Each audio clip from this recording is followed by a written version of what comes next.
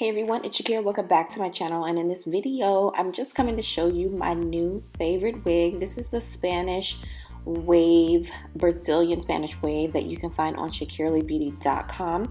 And I made it into a wig. And I was accidentally filming this. Um, and I was talking to my mom on the phone, so that's why I'm like smiling and being really weird. But okay, so I made this into a wig. So it's about two bundles of 22 inches. Well, actually, more like three bundles of 22 inches, 20 and 18, and then a 16 inch closure.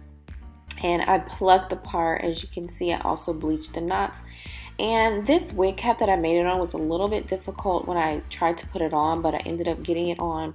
And as I've been wearing it, it's been stretching out and it's been giving me no problem at all. But this is my new favorite hair you all. So it's I only wear it curly. Um, it's very bouncy. I don't put a whole bunch of junk in it um, because I don't believe in putting mousse and all this other stuff in your hair extensions. Maybe just a little bit of oil at the end would um, would work for this hair but don't you love it? It's so big and full. And I call this my flued out wig because this is the type of hair you want to wear if you're trying to get flued out I'm just being silly, but these are pictures of the hair, and I hope that you um, enjoyed watching this little video. If you have any more questions about the hair or any questions at all, drop them in the comments below, or you can always email me. Thank you so much for watching. I'll see you in the next video. Bye.